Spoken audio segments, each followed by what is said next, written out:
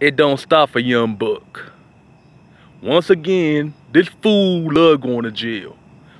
If you keep getting arrested over and over again, it's something about jail or prison you like.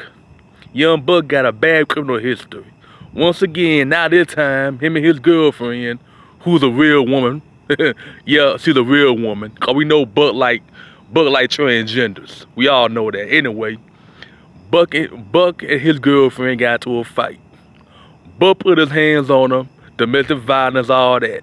She got loose. She went and got a gun, and she started shooting at Buck. Called the police. Both of them got arrested. Now, Buck might have to go back to prison again.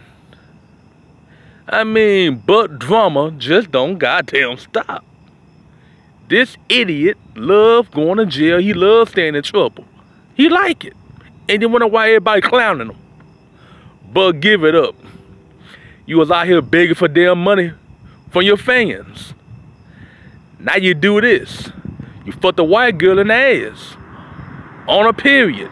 and you and she said you came in damn two minutes. Hey, and you still getting clowned. 50 Cent laughing at you again. You stay giving 50 and everybody else something to talk about.